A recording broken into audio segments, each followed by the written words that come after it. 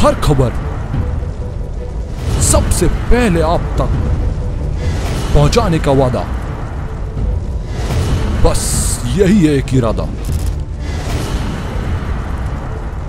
आज ही लगाए अपना पद्मेश डिजिटल सेटअप बॉक्स नमस्कार, आप देख रहे हैं Padmesh twenty four seven Krishna Sunday के साथ।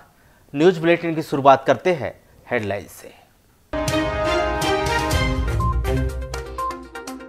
बागदेव पहाड़ी पर अज्ञात व्यक्ति की जली हुई अवस्था में मिली लाश, पुलिस ने शुरू की जाँच। बुढ़ी तालाब से अतिक्रमण कार्रवाई का विरोध शुरू हुआ, अनिश्चितकालीन धरना। वारासिवनी के लोगों ने रेलवे की कनेक्टिविटी बढ़ाने, सीधे महानगरों तक ट्रेन चलाने की रखी मांग।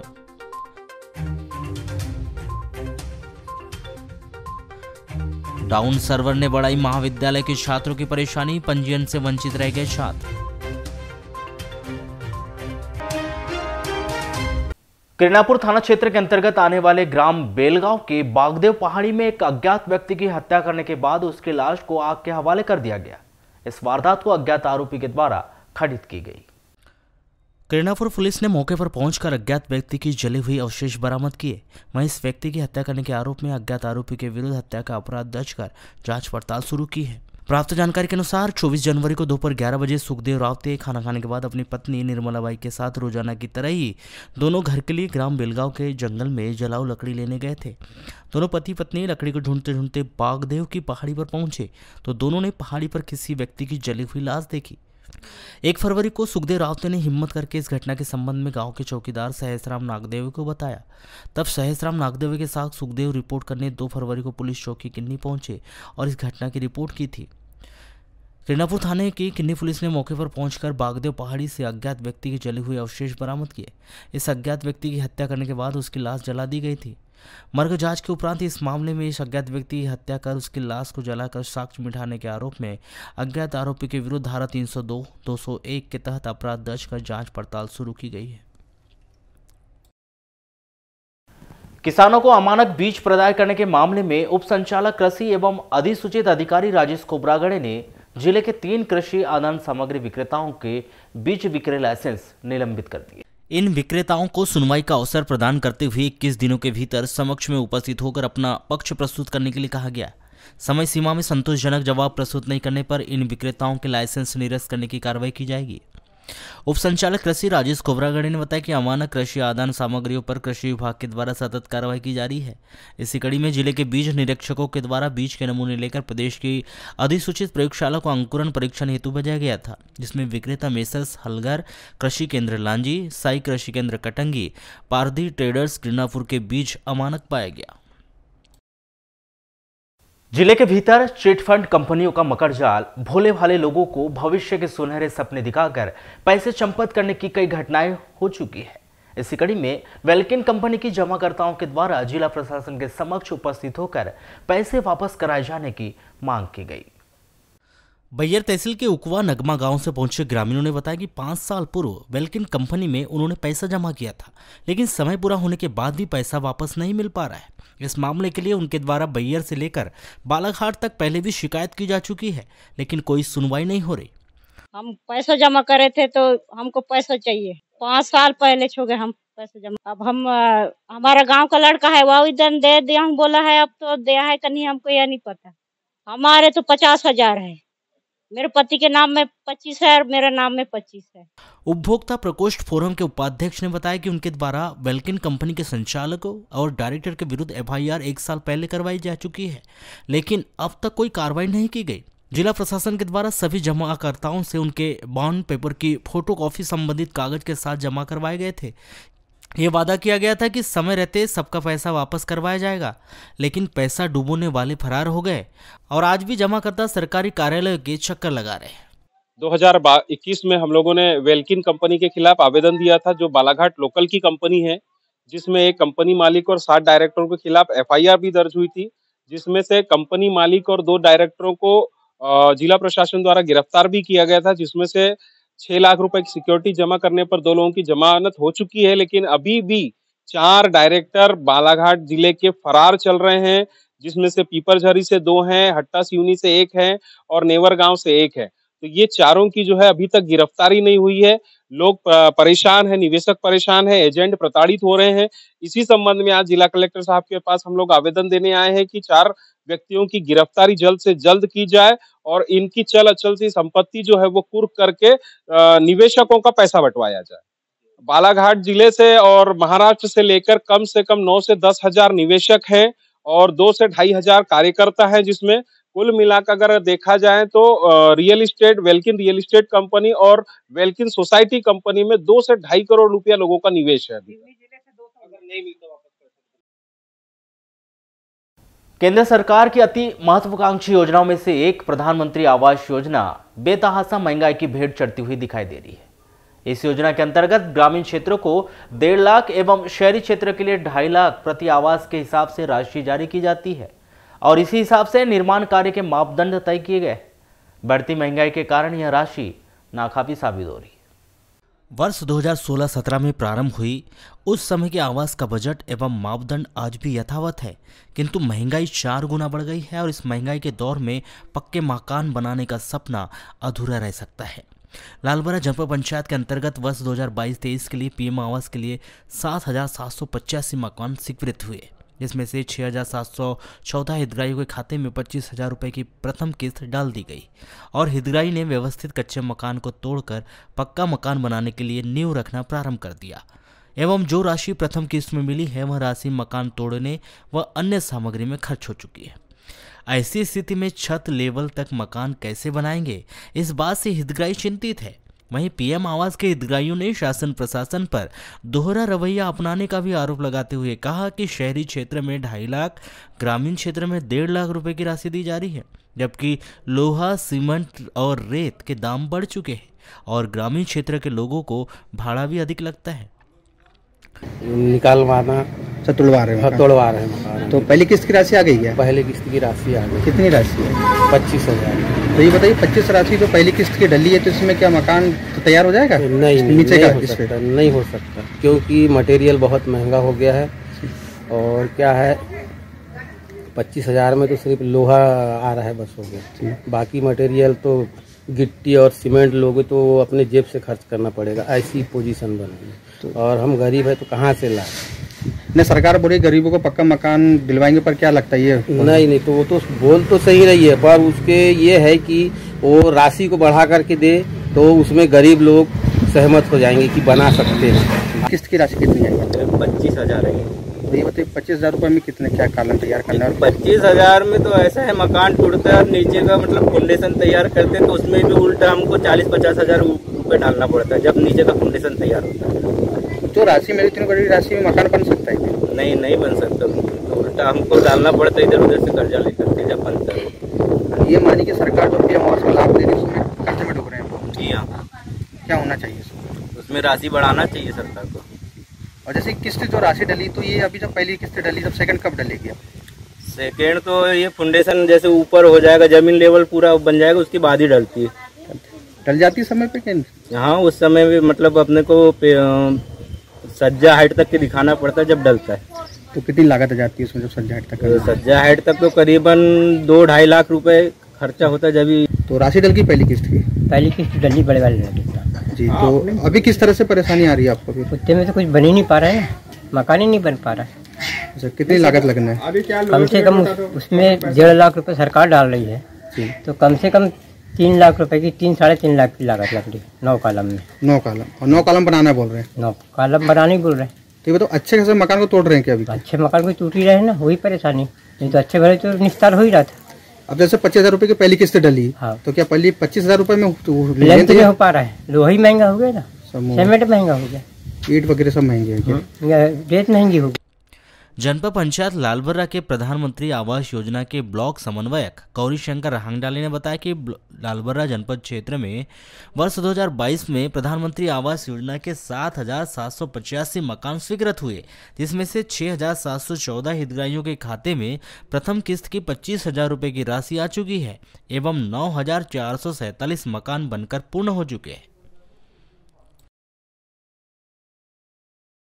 आम लोगों की धारणा है कि एंटीबायोटिक दवाओं से कोई नुकसान नहीं है इसलिए जरा सी सर्दी जुकाम या मामूली दर्द होने पर भी वे एंटीबायोटिक ले लेते हैं।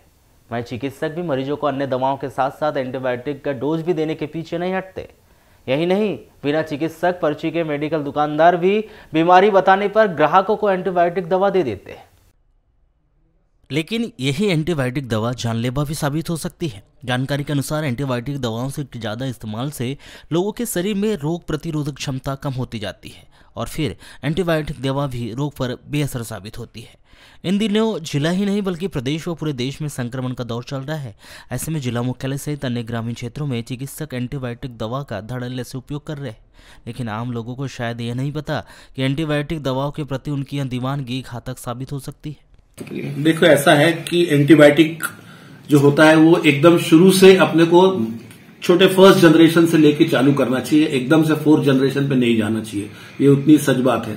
पर आजकल क्या है प्राइवेट में भी लोग बाग लिखने लगे हैं, बच्चे जैसे आते हैं तो एकदम से फोर्थ जनरेशन एंटीबायोटिक से शुरू करते हैं, जो कि नहीं होना चाहिए कायदे से, क्योंकि बच्चे को अगर अभी से एंटीबायोटिक का रेजिस्टेंस हो गया तो वो आगे जाके जब बड़ा होगा तो उसको उससे तकलीफ़ हो सकती है।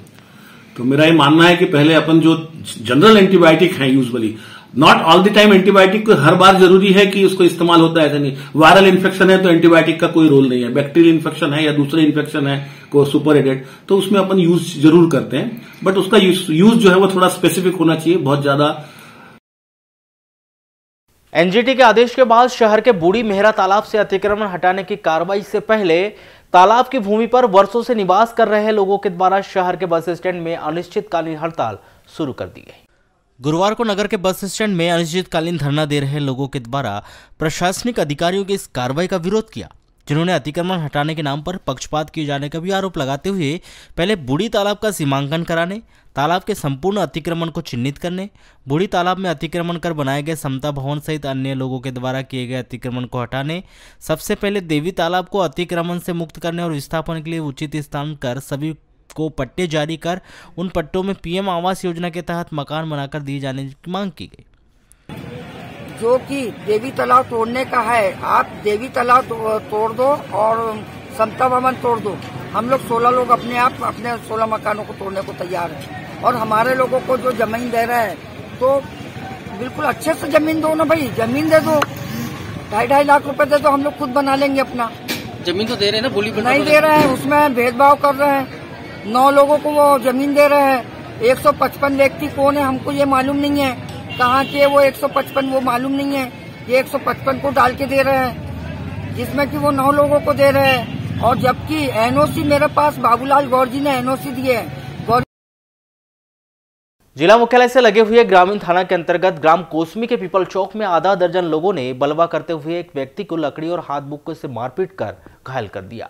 तीन फरवरी को दो बजे करीब यह घटना आपसी रंजिश के चलते हुई। इस घटना के पूर्व मिलिंद ने सरेखा में अशोक विचुरकर, ग्राम बगदरा निवासी और प्रेमलता गोनेकर, वार्ड नंबर तीन निवासी को उस तरह मारकर चोटिल किया था। इसके बाद उक्त वारदात घटित हुई। प्राप्त जानकारी के अनुसार मिलिंद वहाने सरेखा निवासी पेंटिंग का काम करता है। बताया गया कि अशोक विचुरकर, ग्राम बगदरा निवासी की सरेखा आंगनबाड़ी के सामने कटिंग की दुकान है। तीन फरवरी की दोपहर दो बजे करीब अशोक दुकान के सामने बैठा था और पास में ही प्रेमलता गोनेकर एवं सुरेंद्र बिंजाड़े खड़े थे। उसी समय मिलिंद महाने हाथ में दाढ़ी बनाने का उस तरह लेकर आए और अशोक को गाँव में क्या कह रहा है कर इस बात पर विवाद किया। इस बात को लेकर मिलिंद ने अशोक को अश्लील गालियाँ दी। तभी मिलिंद ने अशोक को उस तरह मारा जो उसके नाक में लगा। बीच बचाव करने प्रेमलता गोनेकर आई तो उसे भी मिलिंद ने उस तरह मारा जो उसके दाहिने हाथ के पंजे के अंगूठे पर लगा। इस घटना को वहाँ के लोगों ने देखा, तब मिलिंद अशोक और प्रेमलता को उस तरह मारकर भाग रहा था। तभी कोसमी पीपल चौक के पास करीब आधा दर्जन लोगों ने मिलिंद को पकड़ लिया और हाथ बुक को लकड़ी से मारपीट कर दी। मिलिंद को गंभीर रूप से घायल होकर वह बेहोश हो गया था और इसकी खबर मिलते ही उसके परिवार के लोग आए और घायल मिलिंद को जिला अस्पताल लाकर भर्ती किया गया। बताया गया कि इस घटना की सूचना मिलते ही ग्रामीण थाना नवीगांव से उप निरीक्षक कोमेंद्र गौतम सहित अन्य पुलिस कर्मचारी जिला अस्पताल पहुँचे और घायल मिलिंद के परिजनों से पूछताछ की। इस वारदात में गंभीर रूप से घायल मिलिंद को जिला अस्पताल से मेडिकल कॉलेज रेफर कर दिया गया है। इस मामले की जाँच ग्रामीण पुलिस के द्वारा की जा रही है। वहीं कोतवाली पुलिस अशोक विचुरकर 25 वर्ष, ग्राम वार्ड नंबर आठ बगदरा थाना, ग्रामीण निवासी के द्वारा की गई रिपोर्ट पर मिलिंद महाने के विरुद्ध। धारा दो सौ चौरानवे, तीन सौ तेईस, पाँच सौ छह भारतीय दंड विधान के तहत अपराध दर्ज कर विवेचना शुरू की है। पिछले दो वर्षों तक लॉकडाउन की मार झेलने के बाद भी निजी स्कूल संचालकों की मुश्किलें कम होने का नाम नहीं ले रही। जहाँ लॉकडाउन में स्कूल बंद होने के चलते, जहाँ एक और स्कूलों में बच्चों की दर्ज संख्या काफ़ी कम हो गई है। वहीं दूसरी ओर, वर्ष 2019-20 से शासन के द्वारा निजी स्कूल संचालकों को आज तक आरटी की राशि का भुगतान नहीं किया गया है। वहीं टीसी के संदर्भ में जारी किए गए नवीन आदेश का भी ज़िले में कड़ाई से पालन नहीं किया जा रहा है। इसके अलावा स्कूल संचालन के आए दिनों जारी किए जा रहे नए नियमों और आदेशों ने निजी स्कूल संचालकों की मुश्किलें बढ़ा दी है। समस्या ये है कि आरटी का पैसा नहीं मिल पा रहा है बीस इक्कीस का। दूसरी समस्या ये है कि आए दिन भाई, जिस ज़िले में अगर बीमारी फैली है, उस ज़िले को बंद करवा देना चाहिए। हमारे ज़िले में तो ऐसी कोई बात नज़र हमको ज़्यादा नहीं आ रही है। तो आए दिन स्कूल बंद हो जाते हैं। तीसरी बात, बिना टीसी के एडमिशन दे दिया गया। और अब जब ये आदेश निकला है कि टीसी बुलवाई जाए, जिन स्कूलों में बच्चे गए हैं तो वहाँ के प्रिंसिपल प्रधानाचार्य टीसी नहीं मंगवा रहे हैं। यदि वो टीसी मंगवाए तो हमारे प्राइवेट स्कूलों की जो शुल्क है, बकाया वो आ जाएँगे। ये भी एक बहुत बड़ी समस्या है। एक समस्या ये है कि मान्यता के लिए, अभी सुना है हमने कि पहली से आठवीं तक के लिए भी शुल्क लगने वाला है। नए नए नियम आते हैं। कोरोना काल में तो छूट देना चाहिए संस्थाओं को। एक तो पालक हमको फ़ीस नहीं दे रहे हैं। हम कैसे स्कूल चला रहे हैं वो हम ही जानते हैं। और उसके बाद ये ऐसे नियम आते हैं जिससे हमको बहुत खर्च पड़ रहा है। देश में सबसे सस्ता आवागमन का साधन रेलवे है, जिससे रोज़ाना लाखों लोग अपनी मंजिल पर पहुँचते हैं। रेलवे से कनेक्टिविटी एक अच्छा संकेत माना जाता है कि व्यापार और आवागमन दोनों के लिए, परंतु वर्तमान में आज भी कई स्थानों में यह कनेक्टिविटी अधूरी है, जिसके कारण लोगों को समस्या हो रही है। बालाघाट और वारासुनी में रेलवे ट्रैक लंबी दूरी के लिए कनेक्टिविटी तैयार कर चुका है, परंतु वर्तमान समय तक दक्षिण पूर्व मध्य रेल मंडल नागपुर के द्वारा स्वयं की कोई लंबी दूरी की ट्रेन संचालित नहीं की जा रही है, जिसके कारण ज़िले सहित क्षेत्रवासियों को विभिन्न प्रकार की समस्याओं से जूझना पड़ रहा है। जिसके लिए लोगों के द्वारा रेल मंत्रालय और केंद्रीय रेल बोर्ड से बालाघाट ज़िले से लंबी दूरी की ट्रेन संचालित किए जाने की मांग की जा रही है। इससे क्या हो रहा है कि जो सर, कि बालाघाट जिला जो बच्चे यहाँ से जा रहे हैं पढ़ने के लिए शिक्षा के क्षेत्र में जबलपुर, छिंदवाड़ा विदिशा, कोटा, नागपुर तो ये इनको यहाँ से जाने के लिए बस से आर्थिक बोझ पड़ रहा है। और इस आर्थिक बोझ को यदि रेलवे डिपार्ट कम कर सकता है तो ये रेल का फेरा ज़्यादा से ज़्यादा बढ़ाए जिससे कि यदि मान लो यदि किसी बच्चे को एजुकेशन के लिए या किसी अपने को अपने बुज़ुर्गों को मेडिसिन के लिए, मेडिकल सुविधाएँ के लिए नागपुर, रायपुर जाना है तो उससे बस से जाने में काफ़ी आर्थिक बोझ उठ रहा है। और यदि रेलवे अपना फेरा बढ़ाता है या स्टार्ट करता है तो आम नागरिकों को काफ़ी सुविधाएँ होगी। आर्थिक क्षति से बचेंगे। रेलवे की तो बहुत सारी समस्या है मगर अभी जो ट्रेनें जो चल रही हैं, उसमें सबसे बड़ी एक समस्या है कि हमारे बारासूनी से और बालाघाट से नागपुर के लिए डायरेक्ट ट्रेन नहीं है। इसको साथ मतलब सबसे पहले रेल प्रबंधन ने इसको चालू करना चाहिए कि अगर रेल सेवाएँ चालू हो जाएँगी तो हमारे जो बच्चे हैं, हमारे यहाँ के बच्चे और जितने भी हमारा जो व्यवसाय है, सारा नागपुर से जुड़ा हुआ है। नागपुर से ये नागपुर से कनेक्टिविटी मिलना चाहिए, ये सबसे ज़्यादा महत्वपूर्ण बात है। ये वाली ट्रेन को बहुत जल्दी चालू करना चाहिए, जिससे हमारे बालाघाट के बच्चे और उद्योग, व्यापार सारा सब और कोरोना काल में अगर सबसे ज़्यादा अगर होता है तो हमारे यहाँ हॉस्पिटल के लिए नागपुर एक ऐसा सेंटर है कि जहाँ नागपुर लोग सबसे ज़्यादा मरीज़ वहाँ जाते हैं। इसलिए नागपुर के लिए ट्रेन यहाँ से बहुत ज़्यादा अनिवार्य दक्षिण पूर्व मध्य रेलवे मंडल नागपुर के अंतर्गत गोंदिया से जबलपुर मार्ग उत्तर से दक्षिण जोड़ने वाला रेलखंड है।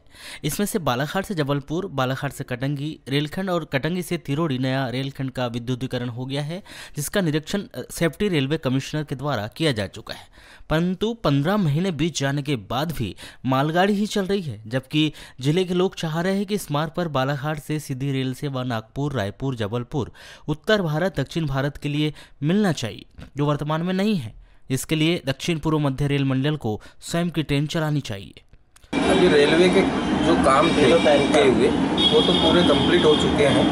जो इलेक्ट्रॉनिक ट्रेनों के लिए जो काम चालू था यहाँ से बालाघाट से जबलपुर वाया वाराणसी कटंगी करोड़ी और जबलपुर से गोंदिया नागपुर भी चालू करने का जो चल रहा है ये केंद्रीय नेतृत्व का काम है। केंद्र के रेल मंत्री के हाथ में है। अभी कोरोना काल को देखते हुए अभी तक चालू नहीं कर पाए हैं, मगर हमारी मांगे हैं कि ये जल्द से जल्द चालू हो ताकि यहाँ पे यात्रियों को और जिनको स्वास्थ्य लाभ लेना है, उनको जो तकलीफ़ों का सामना करना पड़ता है, वो जल्द से जल्द राहत का कार्य मिलेगा। उनको बहुत सी जो किरायों की वृद्धि लगती है बसों से जाने में या अपने पर्सनल साधन से जाने में, अगर रेल चालू हो जाएगी तो बहुत ज़्यादा सुविधा हो जाएगी। गोंदिया से बालाघाट बालाघाट से जबलपुर, रेलखंड का विद्युतीकरण का कार्य पूर्ण हो गया और गोंदिया से कटंगी और कटंगी से तिरोड़ी बीच में रेल मार्ग का नवीन रेल मार्ग बना और उसका भी विद्युतीकरण हो गया और तिरोड़ी से तुमसर रेल लाइन का भी विद्युतीकरण हो गया। पर दक्षिण पूर्व मध्य रेल मंडल द्वारा वर्तमान में सिर्फ़ गोंदिया से कटंगी गोंदिया से समनापुर और इतवारी तुमसर से तिरोड़ी एक एक ट्रेन और गोंदिया से कटंगी चार फेरे की ट्रेन चलाई जा रही है। और पश्चिम मध्य रेल मंडल द्वारा रीवा से इतवारी त्रिदिवसीय ट्रेन चलाई जा रही है और एक साप्ताहिक ट्रेन गया से मद्रास चल रही है।